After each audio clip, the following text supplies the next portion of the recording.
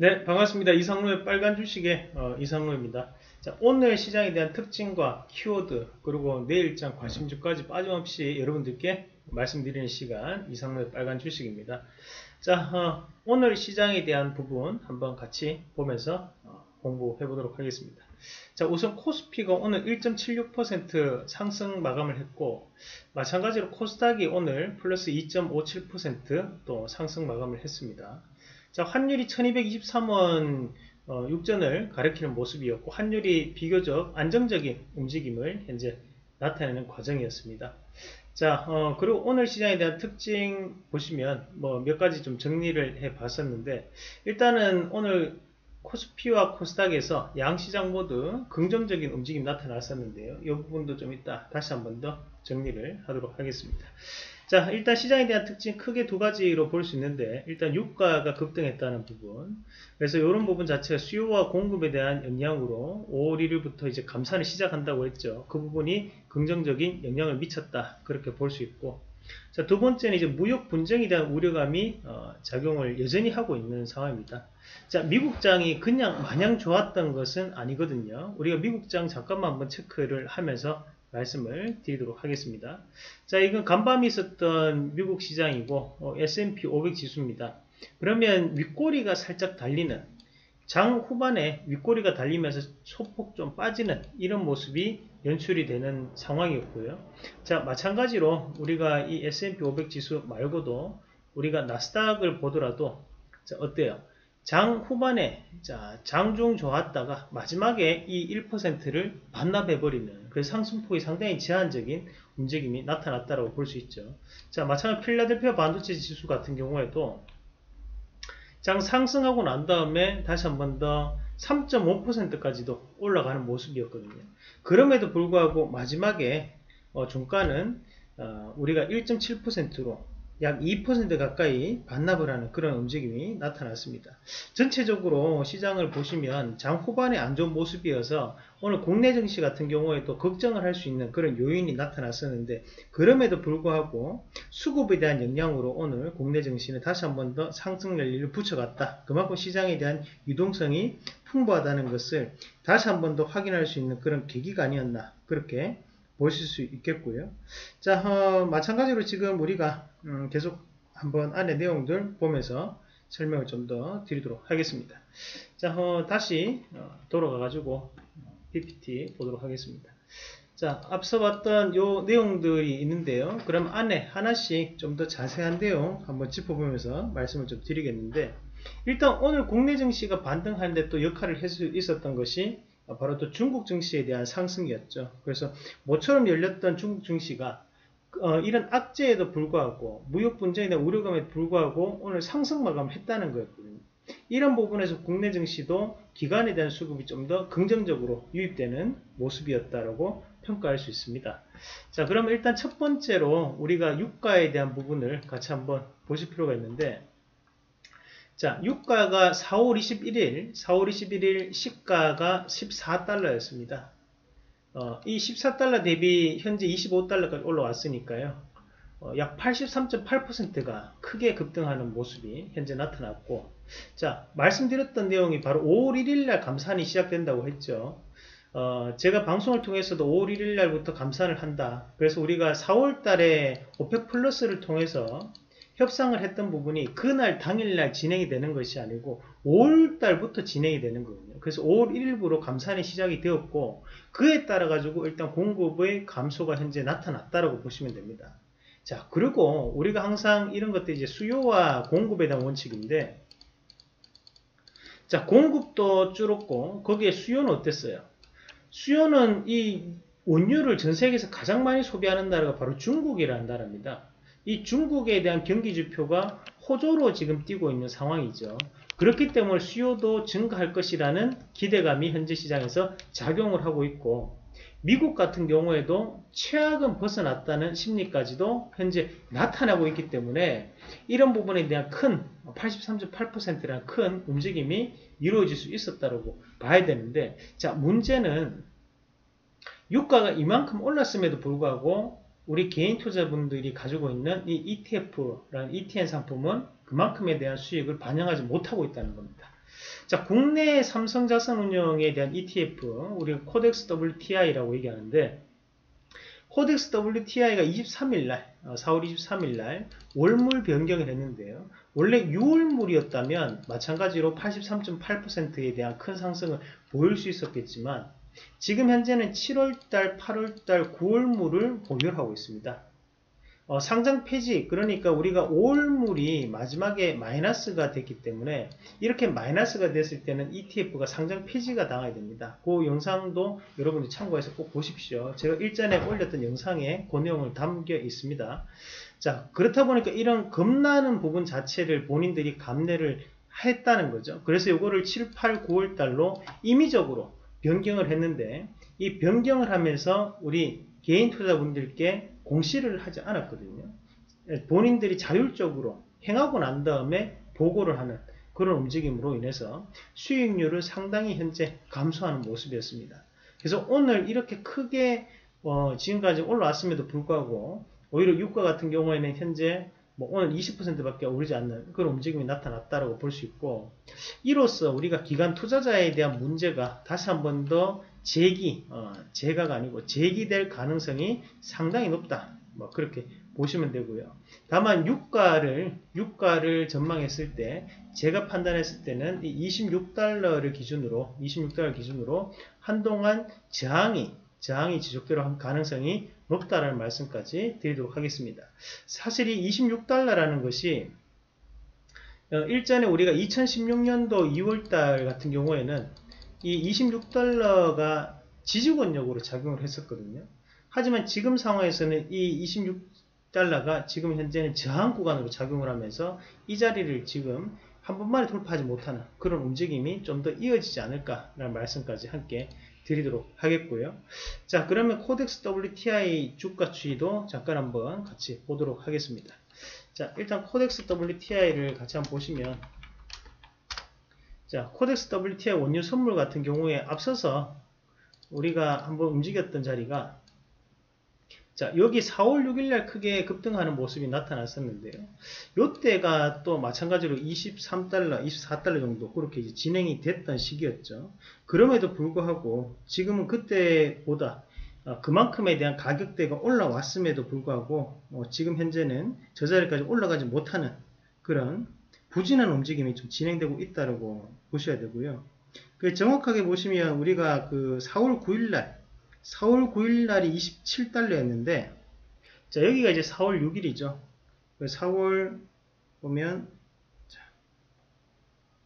자, 4월 6일 같은 경우에도 26달러 정도로 진행이 됐었거든요.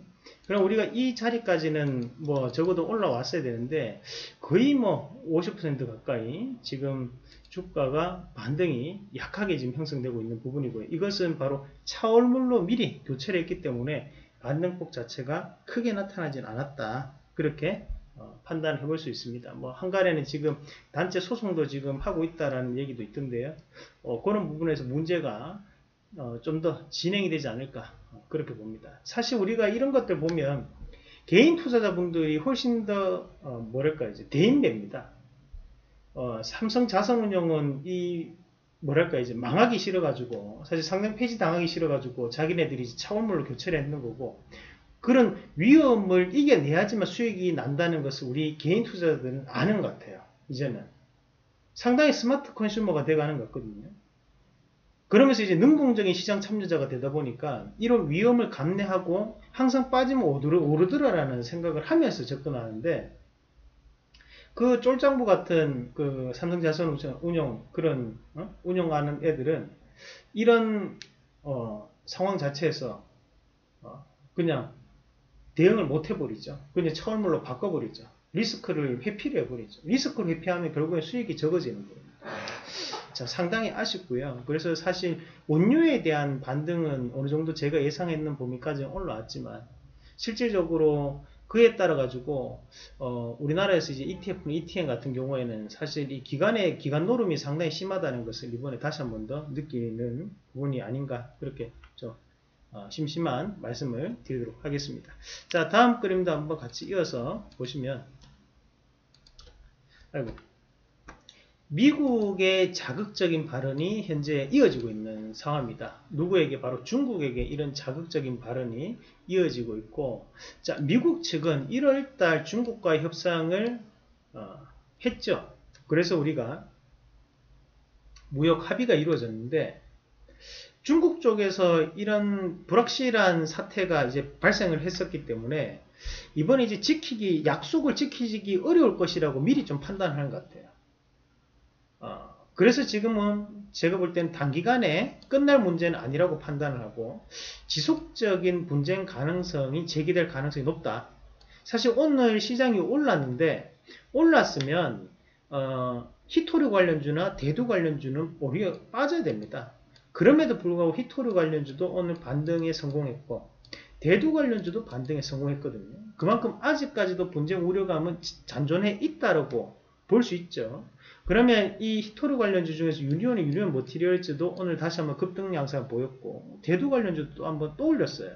자, 한번 주가 추이를 잠깐 보면서 말씀을 좀 드리도록 하겠습니다. 자, 우선 유니온 보겠습니다. 유니온이 오늘 장중에만 변동성을 보더라도 거의 26% 상한가에 근접하는 흐름이 이루어졌고요. 마찬가지로 유니온 머티리얼 머티리얼 같은 경우에 오늘 장중 변동폭 19%의 변동폭이 생겼어요. 전일하고 오늘 합치면 거의 뭐 지금 보면 한 40% 가까이 크게 변동폭이 생겼고 유니온 같은 경우에는 어제 오늘 합치면 거의 56%입니다. 고가만 계산해 보면 그 정도로 상당히 변동폭이 심했습니다. 자, 샘표 같은 경우에도 오늘 시장은 14%가 급등했고 대신 종가는 5.5%에 그치는 그런 모습이 나타났죠. 자, 마찬가지로 샘표 식품도 보겠습니다. 자, 샘표 식품 같은 경우에 전일 20%가 장중 변동폭이 나타났다면 오늘도 다시 한 번 더 조금 들어주는 5% 가까이가 들어주는 모습이었습니다. 그래서 보면 대두 관련주보다는 우리가 현재는 희토류 관련주들이 좀 더 강한 테마가 형성됐다라고 볼 수 있죠. 그래서 그런 움직임 자체가 이어질 가능성이 높은데 다만 지금 현재 단기간에 주가가 크게 급등을 한 것을 보셨기 때문에 주가라는 것은 저렇게 급등을 하고 나면 반드시 뭐가 따릅니까? 조정이 따라옵니다. 그래서 그런 조정에 대해서 trading 관점으로 대응하자라는 말씀을 드리겠고요. 그래서 희토류 관련주하고 대두 관련 정리되어 있는 영상을 다시 한번 꼭 체크하십시오. 자, 그리고 우리가 여기서 봐야 되는 게 이건 별표 3개입니다. 자, 5G 관련주도 함께 보셔야 돼요. 우리가 작년 같은 경우에도 어, 이런 어, 중국과 미국과의 분쟁으로 인해서 수혜를 받았던 반사적인 이익을 받았던 업종 중에 한 개가 바로 5G 업종이었어요. 이 5G 업종 2019년도에 생각보다 더 많이 오를 수 있었던 것은 바로 하웨이에 대한 규제였거든요. 하웨이가 통신 장비에 대한 역할도 하고 있다는 거죠. 5G의 시장 자체를 상당히 큰 점유율을 차지하고 있기 때문에 미국에서 이 하웨이 때리기가 지속된다면 우리나라 이런 5G 관련주들도 상당한 베네핏을 받을 수 있다. 2020년도에도. 근데 이런 5G 관련주들은 또 우리가 4차 산업혁명의 가장 필수적인 조건이 되는 종목군들입니다. 그런 부분 자체를 감안했을 때 좀 더 긍정적으로 보자. 어, 그렇게 말씀을 드리도록 하겠습니다. 자, 어, 자 그리고 오늘 삼성전자의 이재용 부회장이 기자회견을 했는데 자, 대법원 판결에 긍정적으로, 긍정적인 부분으로 나타날 가능성이 높아졌다고 판단합니다. 자, 다만, 다만, 2분기 실적에 대한 우려감도 여전히 존재를 하고 있고, 그에 따라서 지수는 박수권 흐름이 가능성이 상당히 높다고 보고요. 하방은 대신 하방 또한 유동성이 상당히 지금 확대가 되어 있는 양상, 확보가 되어 있는 상황이기 때문에 제한적인 하락으로 판단한다. 현재는 누구에 의해서 바로 기관에 의해서 기관 주도의 흐름으로 추정할 수 있다라는 부분이었는데 수급 잠깐 보면서 우리가 체크를 해 보셔야 되는 것이 자 어, 오늘 시장에서도 기관에 대한 매수가 상당히 유입이 많이 됐습니다. 자 그리고 바로 이 외국인들은 오늘도 매도를 쳤거든요. 근데 이 기관 안에서도 오늘 누가 가장 많은 매수를 보였느냐 결국에는 바로 우리가 이 연기금이었다는 거죠. 자, 연기금과 제가 얘기했던 것이 바로 투신권에 대한 부분이었는데 이 연기금에 대한 그것이 연금과 기금을 본인들 직접 운영하는 것이 아니고 자산운용사에서 위탁 운영을 하거든요.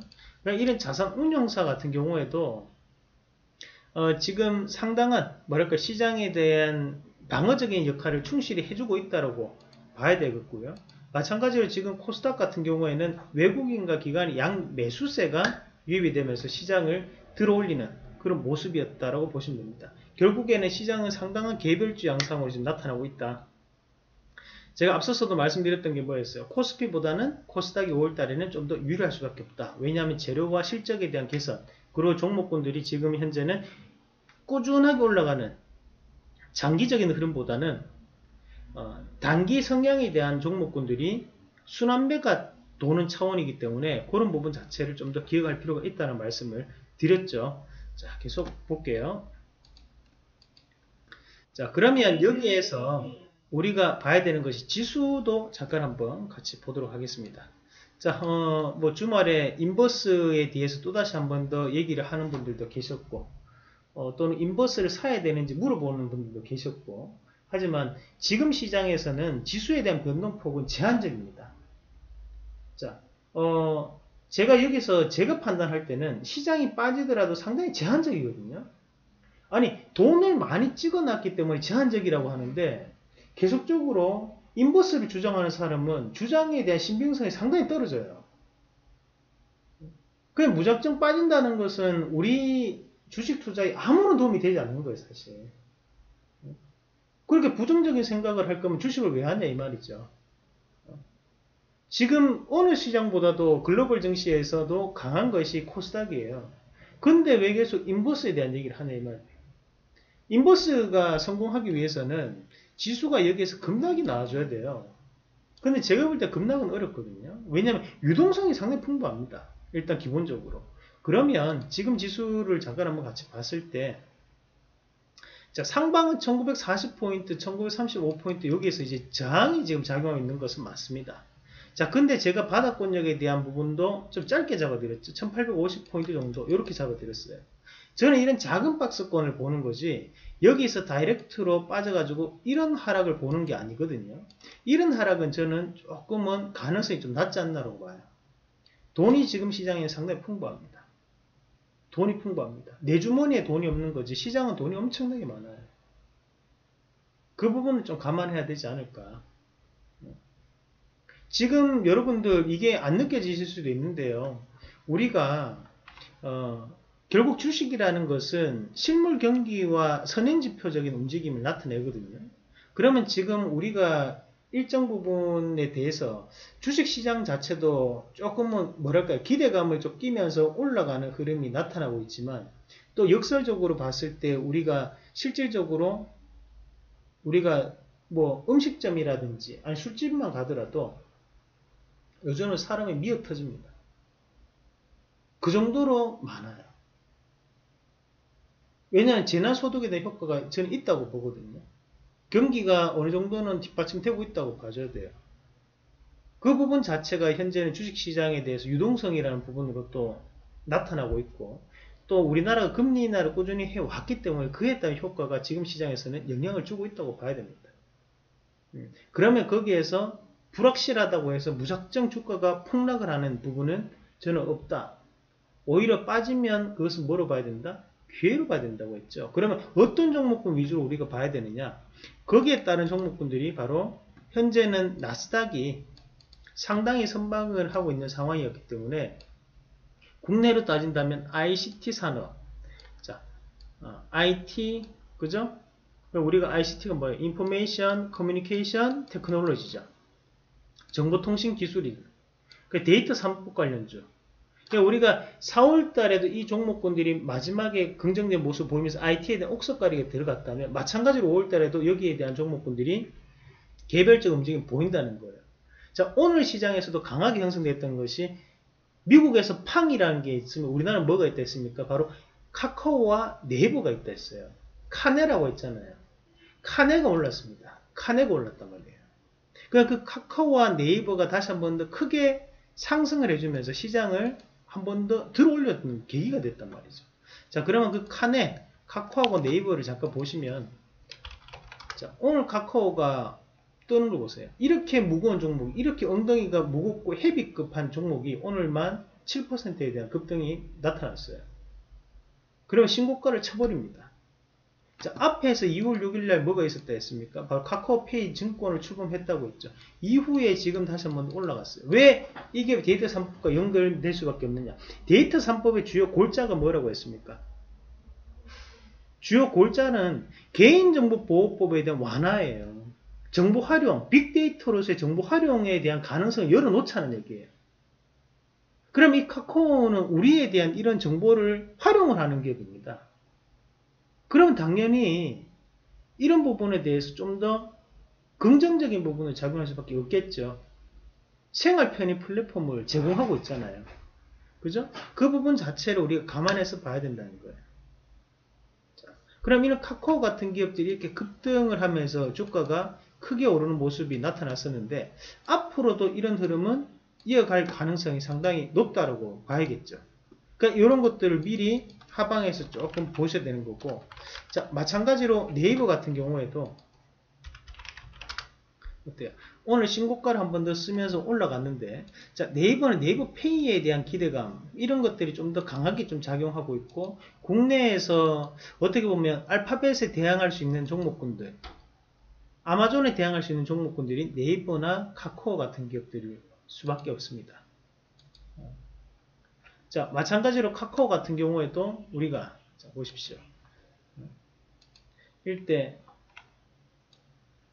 이를 여기에서 해야지만 우리가 지금의 이런 추세적 상승 자체를 여기서 똑같은 내용이잖아요. 이런 추세적 상승 자체를 지금까지 이어오면서 주가가 계속적으로 꾸준하게 추세적으로 넘어갈 수 있다는 거죠. 자, 어차피 5월달 시장은 개별주 장이에요, 여러분. 개별주 장입니다. 아무거나 산다고 해서 되는 게 아닌 시장이에요. 5월달 이슈가 되는 게 뭐였어요? 첫 번째 실적 이슈가 되죠. IT가 이슈가 됩니다. ICT가 이슈가 돼요. 데이터 3법 이슈가 될 거고요. 앞서 얘기했던 무더위 관련주나 또는 대두 관련주, 히토리가 그런 것들을 순환매 차원에서 테마가 움직일 수 있어요. 그런 재료들을 우리가 알고 계셔야지만 지금 시장의 분위기를 느낄 수 있다는 거예요. 그러니까 지금 시장에서 어떤 쪽에 대한 부분에서 수급이 긍정적으로 작용하고 있느냐. 자, 마찬가지로 카카오도 오늘 누가 많이 샀어요? 기관에 대한 매수가 많이 들어오잖아요. 하단에서 많이 들어오거든요. 들어오면서 누가 또 들어왔습니까? 연기금이 들어와 버리잖아요. 왜 연기금이 중요하냐? 바로 이런 것 때문에 연기금이 중요한 거예요. 투신이 들어오잖아요. 투신과 연기금이 오늘 가장 많이 샀습니다. 기관 안에서. 마찬가지 네이버 같은 경우에도 오늘 시장에서 연기금이 들어왔잖아요. 연기금이. 이런 부분에 대한 포커스를 우리가 맞춰줘야 돼요. 그러나 지금 시장은 기관 주도가, 기관이 주도하는 시장이기 때문에 기관이 많이 사는, 기관이 밑에서 많은 매수를, 매집을 보였던, 일전에도 가장 많은 매집을 보였던 종목군들이 지금 상승 자체를 강하게 붙이는 그런 부분이 형성된다고 볼 수 있죠. 자, 마찬가지로 카카오도 밑에서부터 시작해가지고 적극적인 매수를 동반을 해줬잖아요. 그죠? 그럼 오늘 또 강하게 사면서 주가를 올려버려. 그러니까 이런 흐름을 우리가 기억을 하면서 봐야 됩니다. 자, 그럼 오늘 상한가 같은 종목군들 한번 같이 분석을 해볼 건데, 일단 마니크 FNG 같은 경우는 미국과 브라질 등 대형 유가공업체들의 공장 폐쇄, 그리고 육류에 대한 어, 공급 부족 가능성에 오늘 크게 급등하는 양상이 나타났었고 무더위 관련주로 사실 이 마니커 FNG라든지 마니커 하림 같은 기업들은 무더위 관련주로 매년마다 여름에 이슈가 되는 종목군들입니다. 그럼 이분 한 번의 상승으로 끝나는 건 아닌 것 같고요. 앞으로도 순환매는 좀 돌 수 있다. 어, 그렇게 보시면 되고. 자, 옵티판 같은 경우도 오늘 상한가 갔는데 휴벳 바이오라는 업체와 동물 실험에서 코로나19 중화 항체 효능 확인에 대해 대한 부분을 강세를 보였는데 자, 이 옵티팜에 대한 지분을 보시면 팜스토리하고 이지바이오가 지분을 보유하고 있습니다. 자, 하지만 여기서 이제 팜스토리 같은 경우에는 오늘 반등을 오늘 한번 형성을 하면서 자, 주가에 대해서 영향을 주는 모습이었습니다. 13%가 반등이 나타났고 이것은 또 마니크 FNG가 올랐기 때문에 팜스토리도 영향을 좀 줬다고 볼 수 있죠. 마찬가지로 이제 옵티팜에 대한 주가, 옵티팜에 대한 지분 구조를 잠깐 보시면, 자, 옵티팜 같은 경우 이지바이오 31%, 그 팜스토리 4.1%를 지분을 보유하고 있습니다. 그래서 여기에 대한 영향이 드러났다라고 보시면 돼요. 근데 이지바이오 같은 경우 지금 현재 인적 분할 관련해 가지고 거래 정지 기간이거든요. 어, 그래서 그런 부분도 참고하셔서 보시면 될 것 같아요. 이지바이오 생각보다 상당히 큰 기업입니다. 그래서 안에 여러 가지 이제 우리가 어, 업체들이 많은데요. 자, 그럼 오늘 마니크 같은 경우에도 오늘 18.9% 오늘 닭고기 관련주들이 대부분 다 올랐어요. 6개월 관련주들도 상당한 이슈가 되고 있고 이 마니커에 대한 지분도 누가 들고 있어요? 결국 이지바이오가 보유하고 있거든요. 그래서 여기 그룹 계열사다. 그렇게 생각하시면 되겠습니다. 할인도 마찬가지로 오늘 주가가 반등이 또 강하게 나타났죠. 이런 부분에서 아, 우리가 참고하시길 바라겠고요. 이런 데서 이제 추격 매수를 하시는 건 안 좋습니다. 항상 주가가 한번 조정이 나올 때 거기에서 대응을 하자는 말씀까지 드리도록 하겠습니다.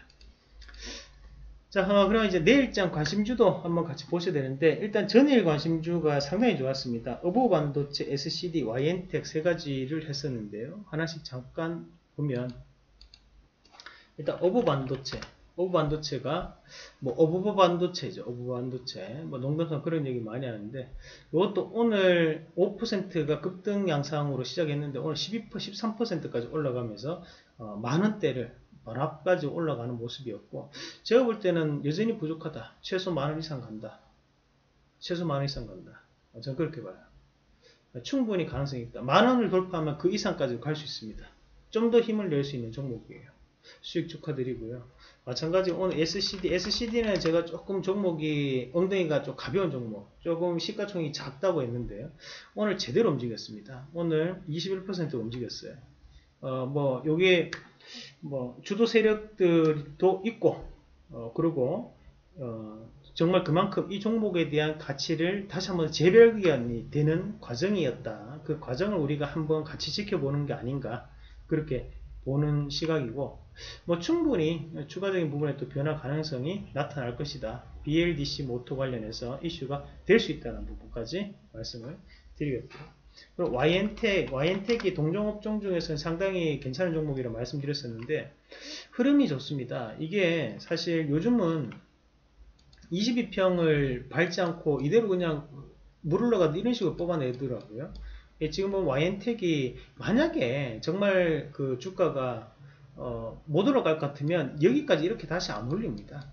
어, 근데 지금 여기 다시 올렸다는 것은 저는 보내는 거라고 했죠. 그래서 오늘 보내는 모습이었고 이제 13,000원까지 한 번 더 다이렉트를 한번 지켜볼 수 있는 자리 뭐 그렇게 말씀을 드리도록 하겠습니다. 자 그럼 오늘 장에서도 관심있게 우리가 봐야 되는 종목군 자, 일단 바이오링크 엑셈 그 파마 리서치 프로덕트 하나씩 같이 보실 텐데 일단 바이오링크 자, 발음이 잘 안 되네요. 파이오링크인데 자, 파이오링크 같은 경우에는 우리가 이제 어플리케이션 관련해서 트래픽을 조절해주는 어, 역할을 하는 기업이라고 말씀드렸죠. 이 기업도 우리가 한 세 번 정도 어, 말씀을 드렸었는데 좋은 모습을 유지를 했고 다만 이제 최근에 여기 옆에서 횡보를 조금 붙이는 바람에 주가 곧장 안 올랐어요. 그죠? 그냥 잠깐 오르다가 그냥 빠져버리고 이런 모습이었는데 이 상승을 좀 눈여겨볼 수 있죠.